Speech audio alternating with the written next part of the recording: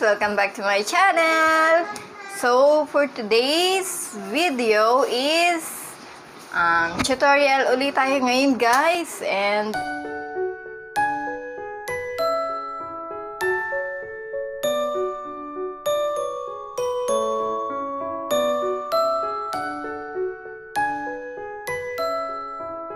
Po kayong lahat guys! Na-miss niyo ba ang tutorial guys? So ako na-miss ko kasi ilang araw na rin ako hindi nakakapag-tutorial. So ngayon mag-tutorial ulit tayo guys and samahan niyo ako guys. So let's start! For today's video guys is another tutorial on how to send gift box in Messenger. So yun guys ang ating tutorial ngayong araw na to. So today is December 12, yan, 2020. So, mga bago po sa aking channel, thank you so much sa pag-subscribe and sa mga hindi pa nakasubscribe, please subscribe and click the notification bell para lagi kayo updated sa aking vlog. So, ayun nga pala, ang tutorial natin is about gift, guys. So, ang pagbibigay ng gift ngayon is pwede ng through chat and through online. Yan, guys. So, yung sinasabi ko po is yung bagong update ng Messenger ngayon. Yung mga bagong feature ng Messenger ngayon, guys. So, yun nga. Sa mga bagong feature ng Messenger ngayon, pwede ka na mag mag-send ng gift through the message. Yun. And ayun nga, pwede ka na mag-send ng mga gift ngayon sa through Messenger.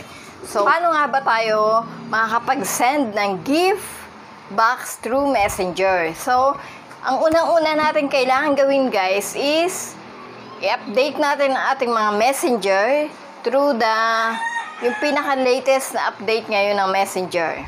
So, pupunta muna tayo sa Play Store and i-update natin ang ating mga Messenger kasi kailangan talaga is naka-update ang Messenger para lumabas yung mga gift.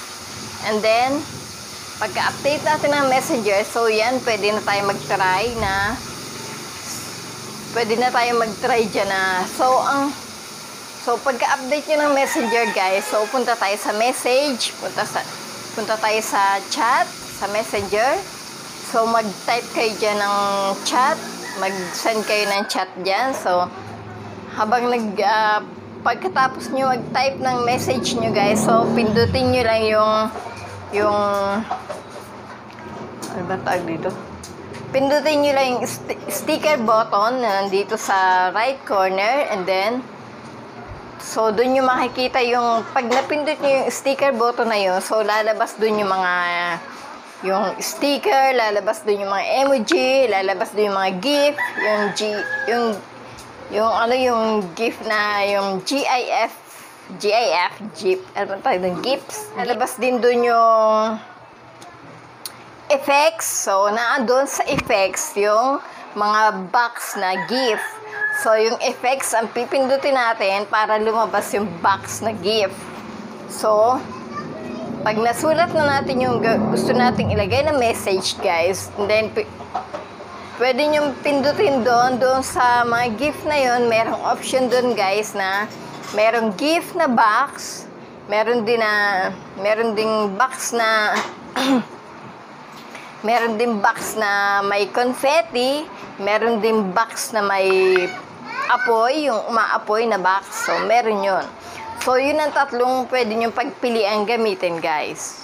So, and, kung mapapansin nyo yung box natin, yung gift box natin yan is kulay pink. So, pag, napi, pag ginamit nyo yung box dyan na gift, and then, papasok yan dun sa sa tao na pinagpadalhan nyo ng message, dating sa kanya is naka-gift box siya. Gift box. Regalo. So, yun ang lalabas sa kanyang messenger.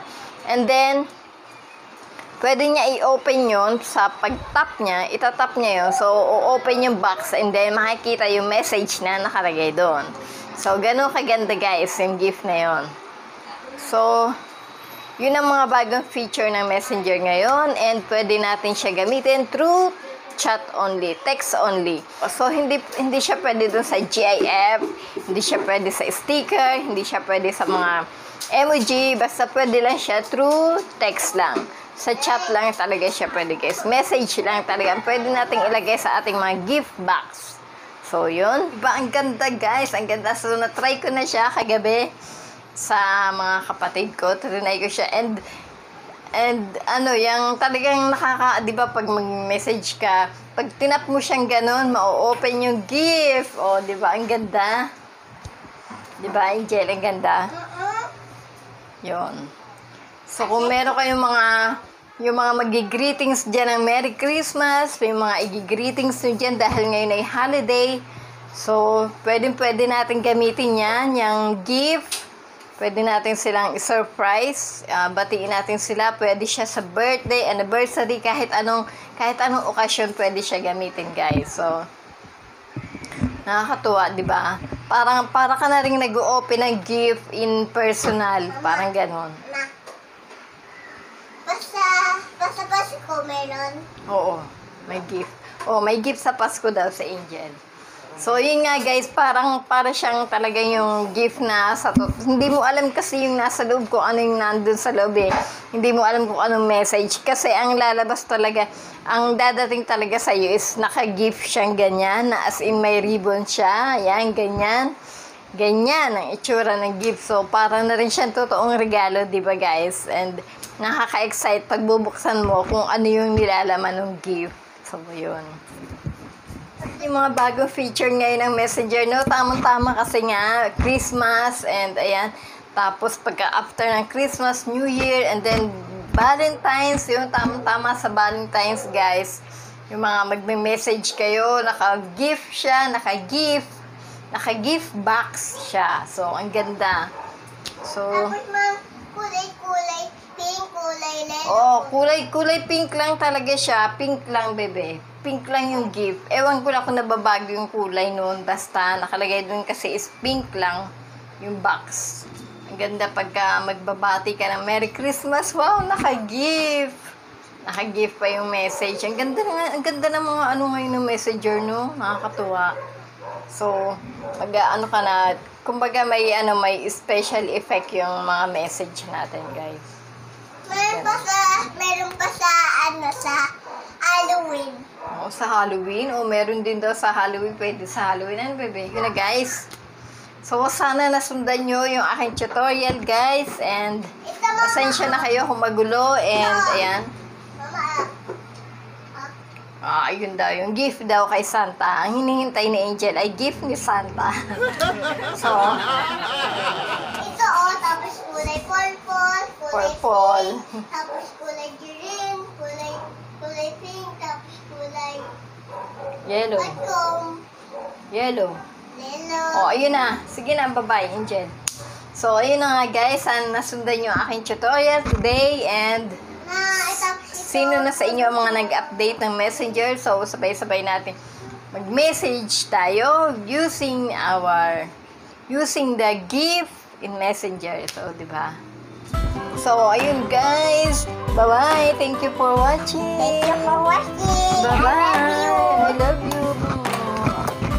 Oh, tapos na.